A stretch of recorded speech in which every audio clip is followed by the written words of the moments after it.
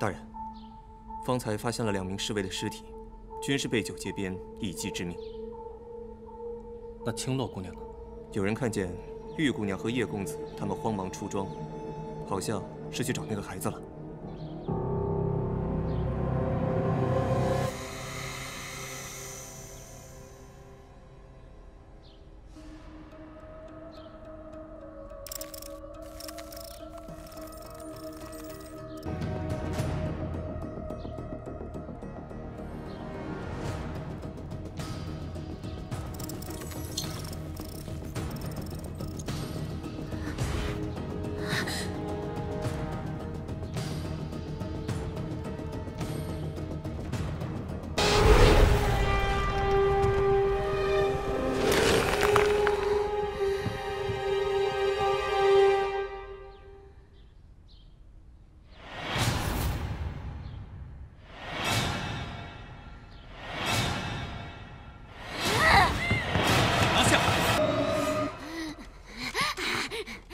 香菱姑娘现在情况如何？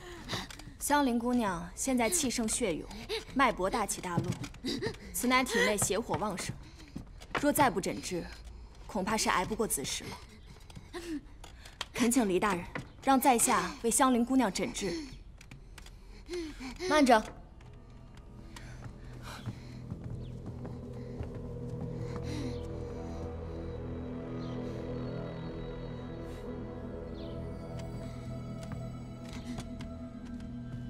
敢问药师用的何药啊？这是在下为香菱姑娘特制的血灵丹，温润养血，保证药到病除。香菱姑娘所患夜游失心症，对血液极其敏感。如果我没记错的话，传闻东域有一种奇术叫血蚕术，能利用血蚕控制人心。药师。你手链能否借我看一下呀？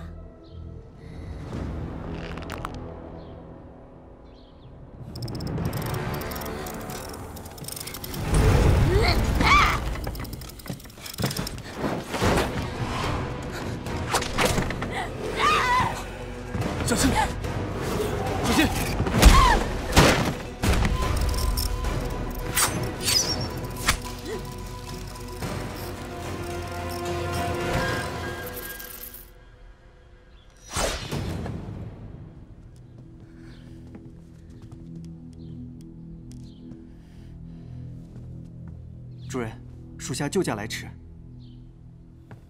哈哈，娘亲，是我让小百合去报信的，我是不是很厉害呀？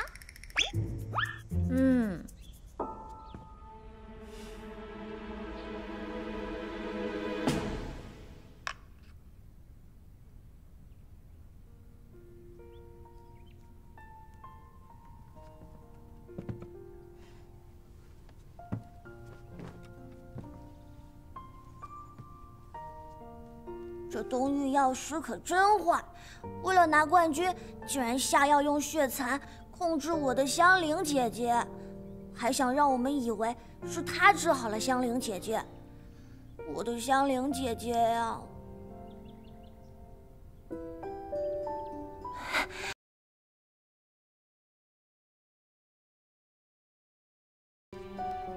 我这是怎么了？你。就是做了一个很长很长的噩梦，现在梦醒了。香菱姑娘，是青洛救了你。小女子，多谢青洛姑娘。没事。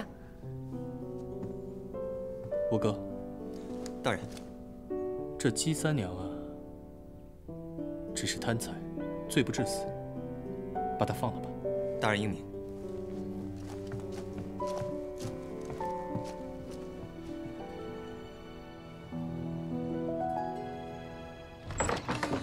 青洛，是李大哥呀，进。李大哥找我何事啊？嗯，这就是传闻中的神农一点啊。我知道青洛医术高超，却不曾想，青洛就是大名鼎鼎的鬼医呀。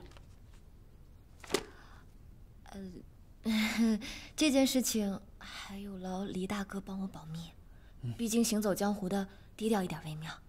我定会，守口如瓶。哦，奖金呢？奖金被叶叶公子先一步领走了。好啊，违反契约，看我等会儿怎么找你算账。对了，李大哥，我还有件事情想问你。你可曾见过一块刻有“喜鹊站在梅花枝头”的玉佩？喜鹊，不曾见过。那我就不跟你见外了。我们曾经到底是何关系？我怎么可能做出红杏出墙之事？这只是于作霖的片面之词。以我对江雪的了解，也相信她定不会如此，对吧？怎么可能？如果真像那个什么破鱼将军所说，我因红杏出墙被他休妻之后羞愤自尽，那怎么解释我被琉璃从潮白河救起，脚上还绑了一块石头呢？肯定有问题，我定是被冤枉的。放心吧，青罗，我定会为你查明真相。多谢李大哥。其实，今日我来，本是有一事相求。你说。在下奉君上之命，举办医仙圣手大赛，其实是为了给户部尚书叶浩然寻一名神医。叶尚书实乃我封苍国栋梁之才，却不幸染一怪疾，其症状与香菱姑娘的病症一模一样。若再不医治，恐怕竟有此事。我本是希望青洛能进京为叶尚书治病，可如今我却希望你打消去京城的念头。我担心于作霖会对你不利。李大哥何出此言？事到如今，我也不想瞒你了。当年，你爹荣升太医令，君上赐婚于你和于作霖。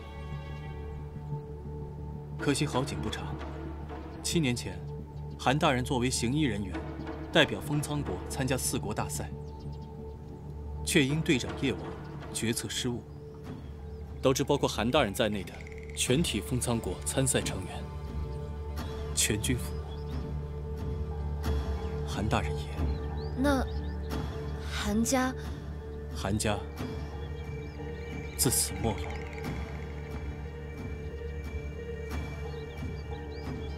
当时你已嫁于于作霖为妻，于家也因此不再受君上重视了。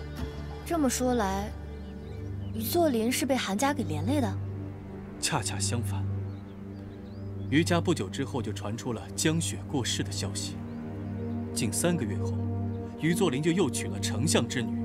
李冉冉自此飞黄腾达，短短六年便从都尉晋升为了骠骑将军。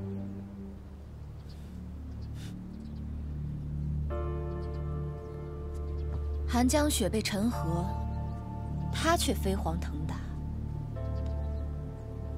怕是想甩了这个累赘吧？当年我就怀疑，所谓江雪红杏出墙。很可能只是于作霖撒的一个谎，又或者是于家设计陷害于你。那楠楠的亲生父亲是于作霖吗？那他为何这般对待我们母子？不行，我必须当面问个明白。李大哥，我随你入京。青洛，你可考虑清楚了？只有去了京城。我才能查明当年真相。若于作霖胆敢伤害我们母子，我绝对不会放过他。好，既然你心意已决，我也就不阻拦你了。我会竭尽所能保护你。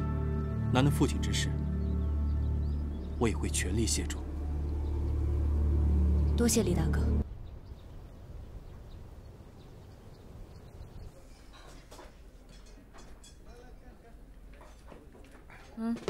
是主任。是主任。走走。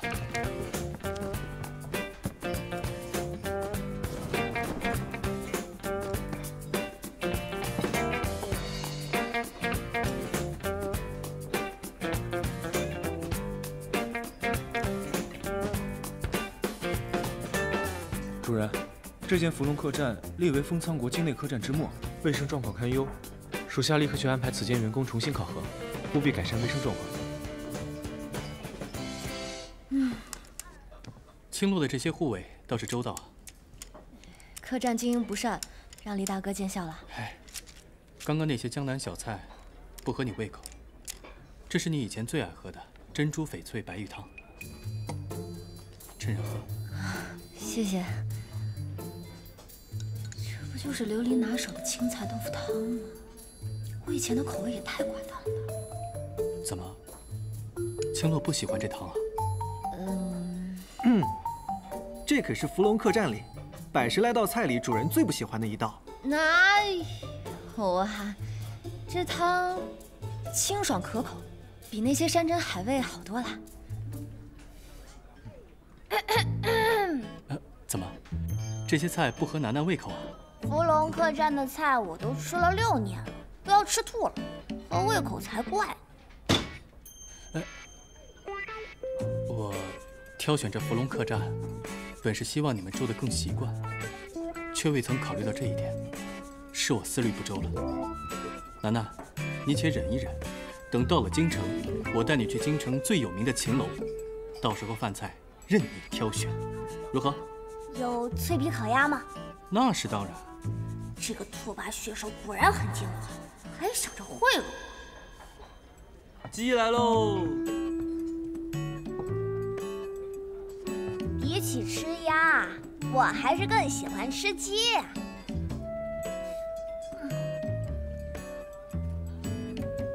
青洛，嗯，我看楠楠也已经到了上学的年纪，不如到了京城，我就给她找个老师授课，如何？也好，是时候该送他去上学了。不好，这个拓跋血手不仅对我娘图谋不轨，还想要控制我。